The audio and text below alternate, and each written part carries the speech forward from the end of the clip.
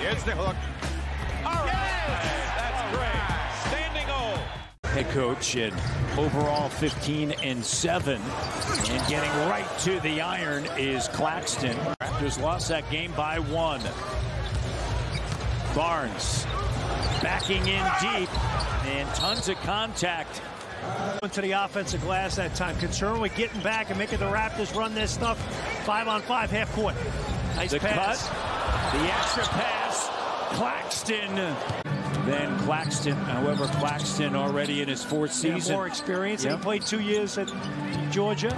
Here's Siakam spinning. And it doesn't go. He missed a few at the rim.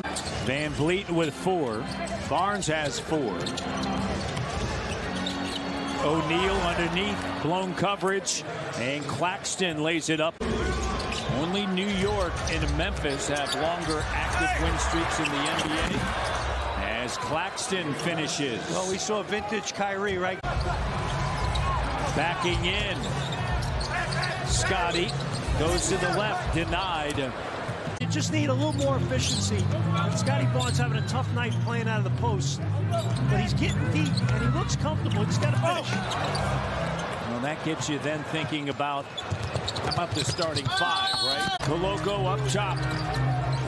Raptors lead by one. They've never trailed. VanVleet with it. And it's partially blocked, batted around. Like a regal figure. He's like basketball royalty. Doc. Claxton on the inside. It's a great pass by Scotty B. And Durant misses. Claxton finishes. Tied.